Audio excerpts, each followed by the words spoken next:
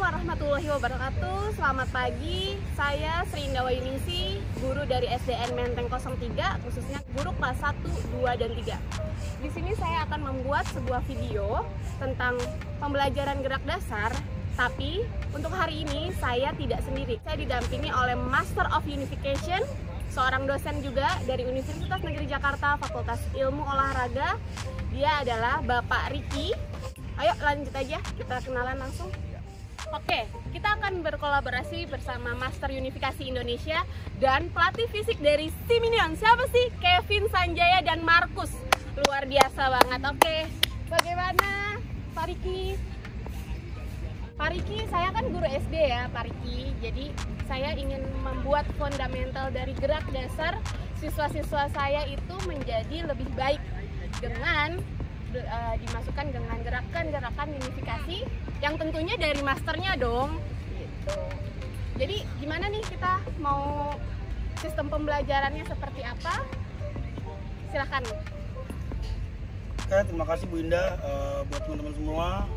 Jadi unifikasi itu adalah bagaimana kita melakukan gerak dengan penyatuan antara pikiran dan tubuh untuk mendapatkan kesadaran, kecakapan, dan keharmonisan dalam bergerak. Apa sih gunanya? Gunanya adalah menghindari diri kelelahan dan cedera pada anggota tubuh.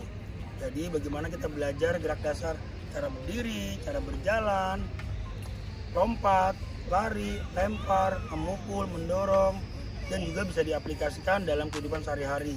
Contoh duduk saat main game, duduk saat belajar. Oh, jadi dengan kesalahan-kesalahan yang sebenarnya terlihat sepele itu dapat menimbulkan nanti di kemudian harinya pada saat mereka beranjak dewasa. Kalau seandainya. Itu pasti. Jadi banyak sekali anak-anak sekolah di sekolah dasar yang akhirnya saat SMP, SMA gerak awalnya sudah salah, ya sudah jadi tidak jadi salah, tidak harmonis. Contoh cara berdiri, cara berjalan, badan badannya miring ke kiri, miring ke kanan, ada yang membungkuk Nah itu diakibatkan karena ada gerakan-gerakan yang tidak harmonis saat, saat dia lakukan dari kecil sampai dia dewasa dan imbasnya nanti saat dewasa mengakibatkan mudah lelah dan cedera pada anggota tubuh. Oke, akibatnya itu banyak banget ya kalau misalnya kita dalam kesalahan walaupun hanya sekedar berjalan ataupun berdiri ya Pak iya. ya. Jadi kalau misalnya ada Bapak Ibu atau siswa-siswi yang ingin uh, masuk tentara, itu pramugari fakultas apalagi fakultas olahraga dia harus mempunyai kondisi fisik yang sempurna ya pak ya menurut ya dalam harmonis. Uh-huh. artinya jika seorang anak atau seorang atlet atau siapa pun melakukan gerakan dengan sadar dengan cakap dan harmonis itu gerakan akan menjadi lebih cepat lebih efisien dan yang paling penting adalah lebih aman. Jadi bergerak dengan cepat efisien aman. Langsung aja kita ke pengaplikasiannya yuk. Ayo ikut kita di sini ya. Antar di sini terakhir ya. Sini ya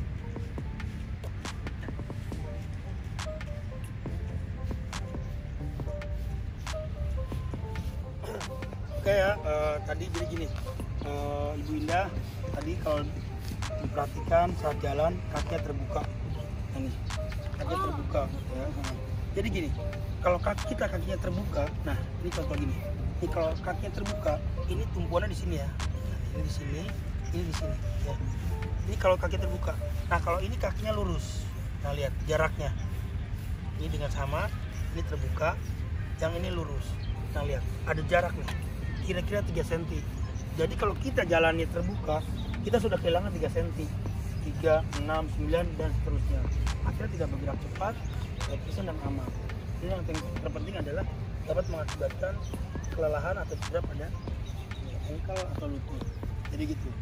Jadi uh, kita belajar uh, cara berdiri dulu. Jadi uh, hadap sana boleh atau hadap sana di, di tengah. Ya. kaki lurus. Terus lebar bahu. Mundur lurus. Masih kurang lurus.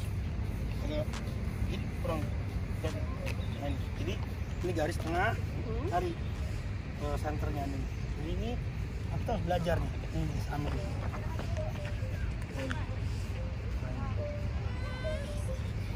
gini. Ya uh, agak rapat dikit. Jadi saya kira saya bagus ya oke ya. Jadi ini lurus. Telapak ba- kaki bagian dalam. Jadi yang dimaksud dengan lurus adalah kaki telapak bagian dalam itu satu garis ya. Jadi bukan yang berjalan di garis tapi kaki telapak bagian dalam satu garis. Oke, depan. Maaf. Ini relax. Turun lagi relax relax relax. Ambil belakang. Ini harus lurus. Ini misalkan lurus ya terusnya lurus tangan relax relax relax tangan relax nah tegang jangan tegang relax lagi. Ya kamu pukul tangan saya. Nah, ini relax Ya, kalau tegang pukul. Ini tegang jadi ada satu lawan jadi benar-benar relax oke bagus. Bagus. Oke. Nah ini. Ini dari depan. Ini lurus. Ini lurus. Ke depan relax nah jadi gini ya jadi usahakan eh, anak dari kecil sudah belajar cara berdiri ini ya ini berdiri yang harmonis di sampingan nah nih ini Oke. berdiri yang harmonis jadi, Jadi benar-benar ya, iya ya? hampir 99% siswa Oh. Indonesia mempunyai gerak dasar yang sangat kurang harmonis 99% kesalahan. tidak salah tapi kurang harmonis Oh, jadi kurang salah juga Iya juga. Iya. Berarti cuma satu persennya ya semoga saya ya Pak ya. Eh, itu cuma basa basi aja sebenarnya 100% ya, jadi jadi lurus ini lurus dan lurus. Nah ini. Jadi eh, gerakan itu harus dimulai dari cara berdiri. Semuanya cara berdiri. Nanti kalau berdirinya udah udah bagus udah harmonis baru dimulai dengan cara berjalan. Jadi ada tahapannya. Jadi jangan belum berdirinya belum bagus udah belajar lari udah belajar lompat itu banyak sekali eh, pemahaman yang salah gitu. jadi orang pengennya buru-buru lari buru-buru jalan buru-buru lompat buru-buru lempar padahal fondasi ini ini yang pertama jadi ini yang pertama yang harus diajarkan cara berdiri Oke, jadi cara berdirinya seperti yang kita lihat, sini kondisi eh, kondisi kita eh, dalam berdiri udah harus kayak relax, terus posisinya dari ujung dan simetris, dari ujung kepala sampai ke telapak kaki ya. Pokoknya fokus lurus ke depan. telapak kaki satu garis Telapak kaki satu garis. Jadi eh, tidak untuk berdiri dengan cukup lama juga posisi seperti ini iya tidak masalah ya. tidak masalah ini, ini akan membentuk postur tubuh yang baik nantinya jadi nggak bongkok nggak Banyak yang agak miring Iya, gitu ya Pak karena ya. tadi karena karena mereka melakukan gerakan itu tidak dalam keadaan sadar bukan mereka tidak tahu karena mereka belum tahu. Kadang-kadang kita asal berdiri, tapi Iya, pada asal saat berdiri. seperti ini, oh iya kita harus berdirinya seperti ini gitu. Jadi untuk harus membentuk- dimulai dari ya dari usia dini dari SD itu bagus sekali Kalau saya udah terlambat gak nih Pak? enggak tidak ada kata terlambat semua bisa belajar Next. oke oke Selanjutnya Eh, Pak.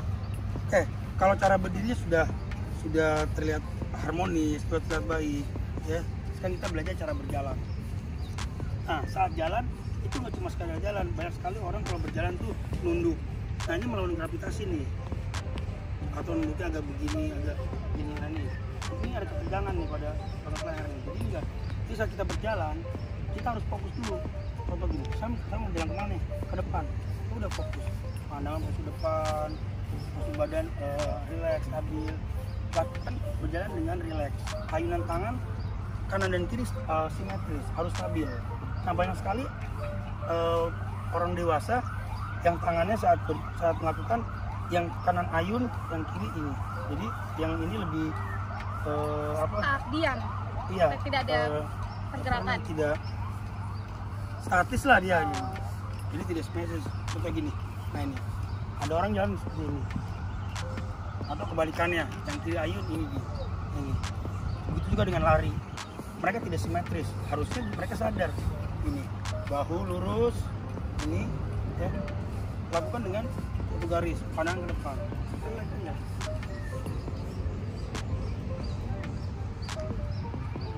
Pandangan ke depan pandangan ke depan. Jadi lihat dulu. Jadi belajar jalan itu emang gerak. Jalan itu gerakan yang natural yang semua orang pasti bisa. Berdiri berjalan. Tapi lakukanlah dengan baik dan benar. Depan,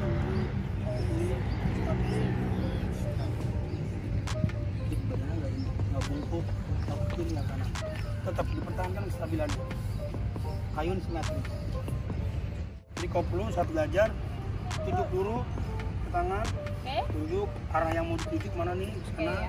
tujuh ke kanan. Nah, kalau udah lepas lagi jadi gini tunjuk sama ke sana sama ke sana sama ke sana taruh pelan pelan jalan. Dengan sadar. Untuk untuk awal pertama kali boleh dilihat jadi untuk pertama kali boleh dilihat kakinya. Boleh dilihat. Jadi pandangan boleh lihat kaki dulu ya dari sini. Boleh dilihat. Nah ini lihat. Tapi kalau udah yakin lurus ini nggak ada badannya miring lagi menusukkan badan. Nah, siap. Oke. awas kurang lurus kakinya. Ya rapat dikit rapat dikit rapat dikit rapat dikit.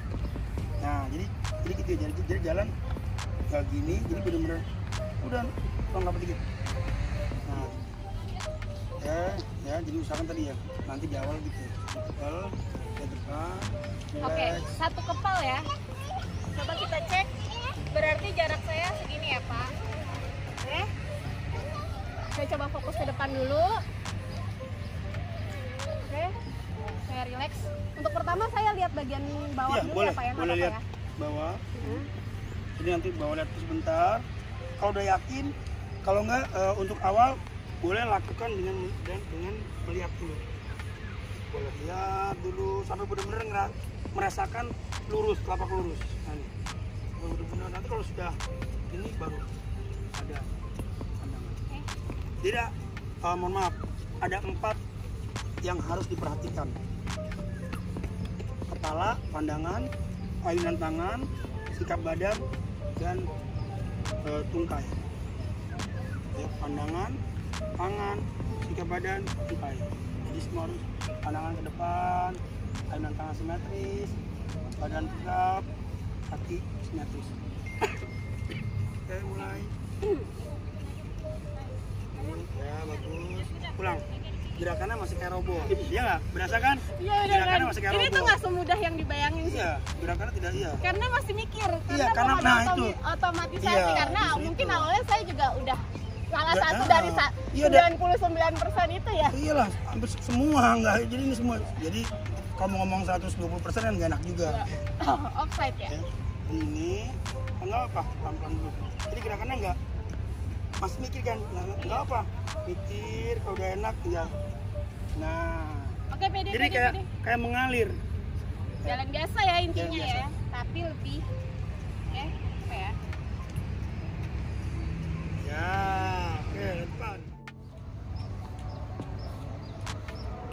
gitu bagus. Ya itu lebih baik. Oke ya Bu Ida tetap aja yang ini buka. Nah jadi gini jadi banyak orang berpikir bahwa jalan itu eh, cuma maju ke depan.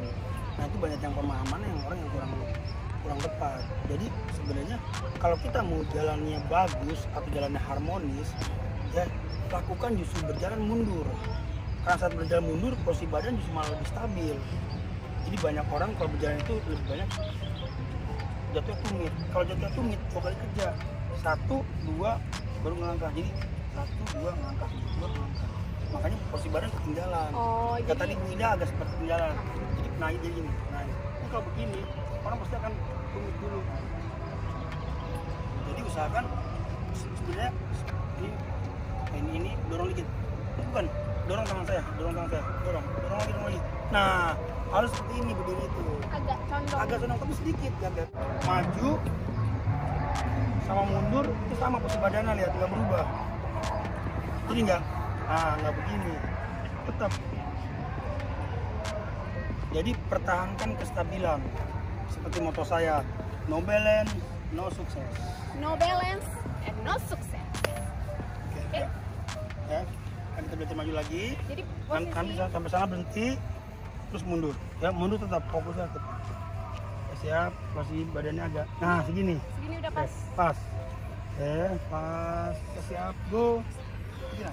Kok antara aneh deh, Pak. Itu jalannya tuh kayak karena emang mungkin sayanya udah bukan terbiasa. udah terbiasa dengan gerakan yang kurang harmonis gitu loh. Tapi ini bisa dipelajari. Jadi eh, buat teman-teman buat orang tua jangan apa ya jangan panik liris itu bisa berubah. Bisa berubah. Kecuali kalau sudah terbentuk tulang ya misalnya sudah kasih proses yang sudah parah itu agak susah. Harus ada penanganan harus dokter. penanganan khusus. Dok. oke kita coba lagi ya. ya.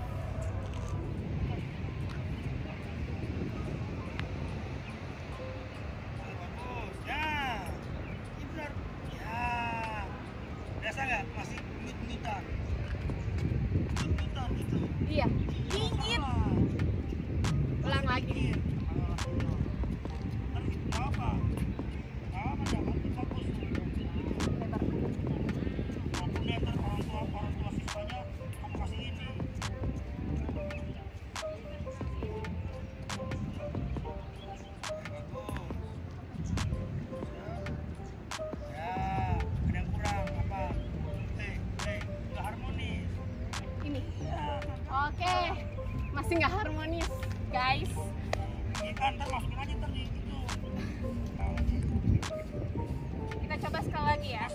Harmonis. Tapi balance-nya udah oke, Pak. Oke. Ya, ayo tangan bagus. Stop. Ya, itu lebih baik. Itu lebih, ah, jangan terputus. Tidak boleh memutus Apalagi yang terputus? konsentrasi. Terputus konsentrasinya sama fokusnya. Jadi saat kamu mundur, terus sempat tangan ini berarti terputus. Jadi tetap maju.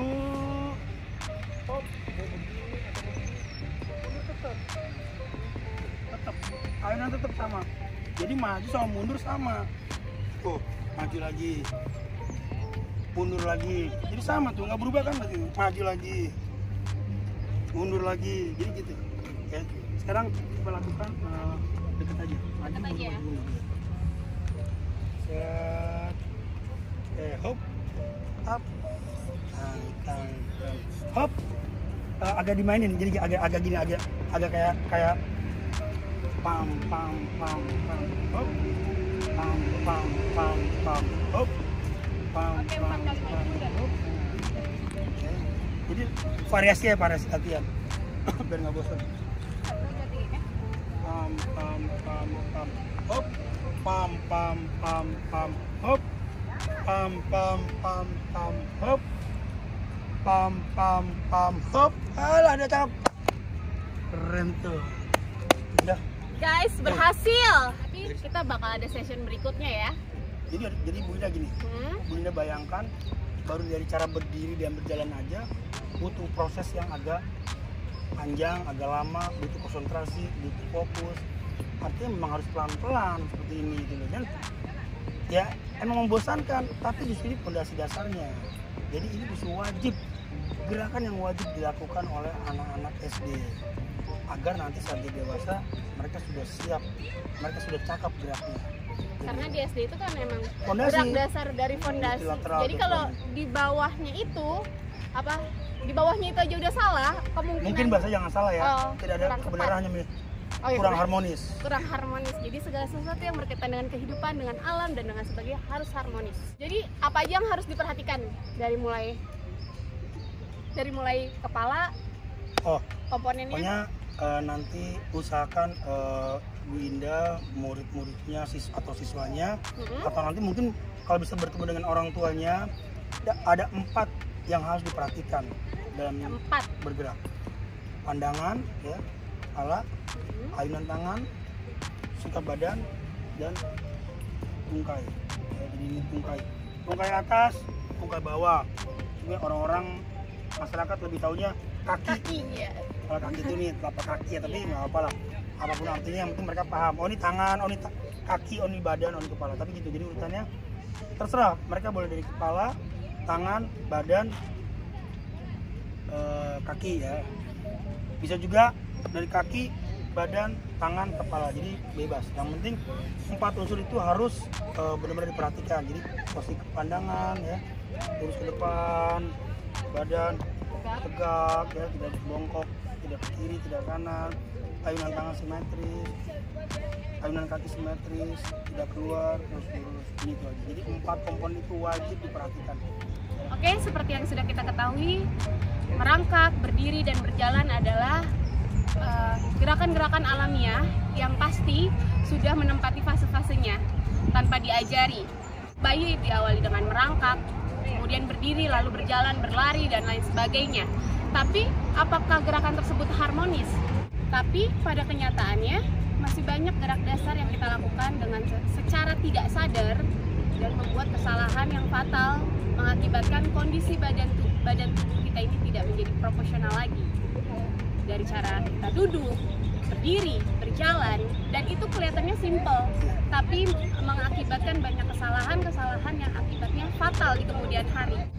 Gerakan-gerakan yang kita lakukan secara tidak sadar dapat mempengaruhi kondisi fisik, kebugaran, dan postur tubuh kita.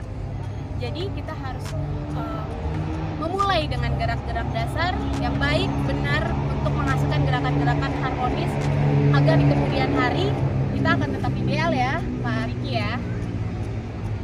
Jadi untuk pembelajaran kita hari ini bersama Master Unifikasi dari Indonesia,